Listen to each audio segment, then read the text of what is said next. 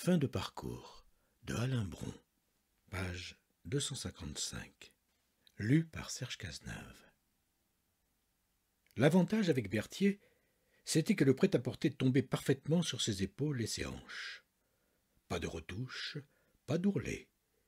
Il se paya le luxe de garder les habits sur lui et de faire mettre en carton ceux avec lesquels il était entré. Il partit ainsi du magasin avec un costume croisé et gris absolument identique au précédent, mais neuf. Guilleret, il arpenta la rue Dauphine avec la fierté d'un communiant dans sa nouvelle tenue.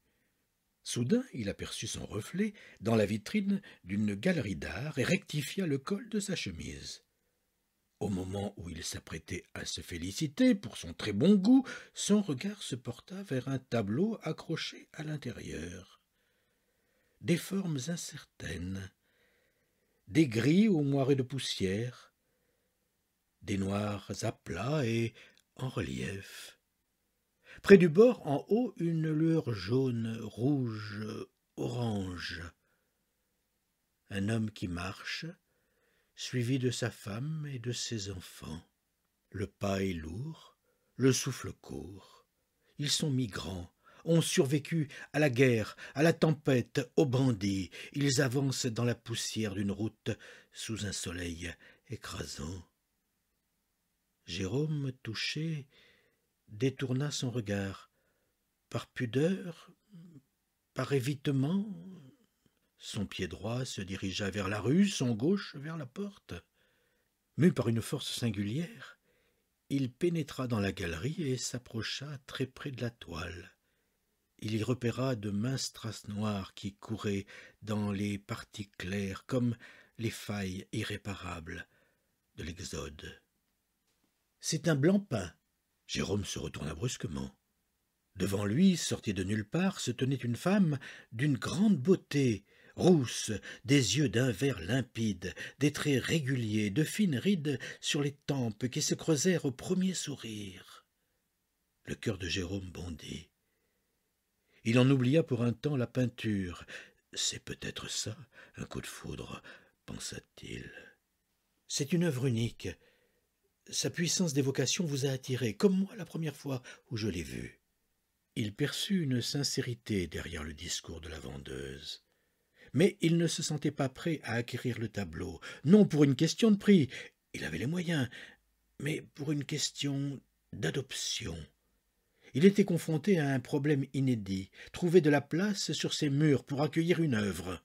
Autrement dit, se débarrasser de souvenirs accumulés avec son ex-épouse et n'ayant plus de sens pour lui.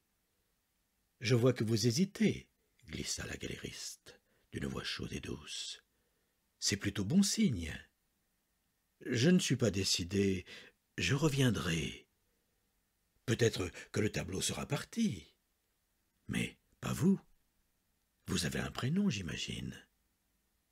Et même un nom, ce sont ceux écrits sur la vitrine. Jérôme déchiffra les lettres à l'envers. Carole, puis-je vous inviter à dîner pour parler de tout cela? Je ne trouve aucune raison valable pour refuser. Et à nouveau son sourire adorable laissa Berthier désarmé et ravi. Alors, euh, à vingt heures ce soir, Carole? Lança-t-il en tendant sa carte. En se retrouvant sur le trottoir, il perdit d'un seul coup une vingtaine d'années. Cette femme l'attirait énormément par son charme, sa prestance, son éducation. Jérôme, l'homme mûr, pensa J'ai attendu des années. C'est une chance, et je ne dois pas la rater.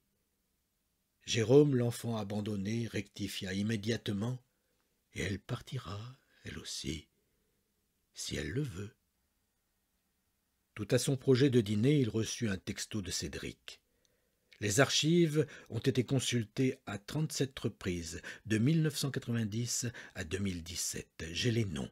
Je remonte avant. Pour la première fois depuis bien longtemps, Berthier ne répondit pas à un message professionnel.